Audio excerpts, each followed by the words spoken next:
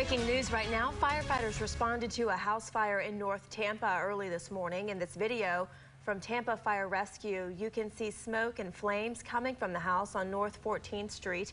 Everyone inside the house was able to make it out okay. Sadly, though, the family cat did not make it. No word on what started this fire.